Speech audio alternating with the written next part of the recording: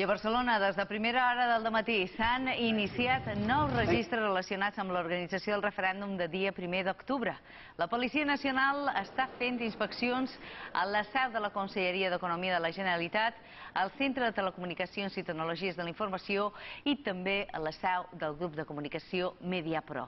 Fonts policials asseguren que han detengut el cap de la Secretaria General d'Economia i Vicepresidència.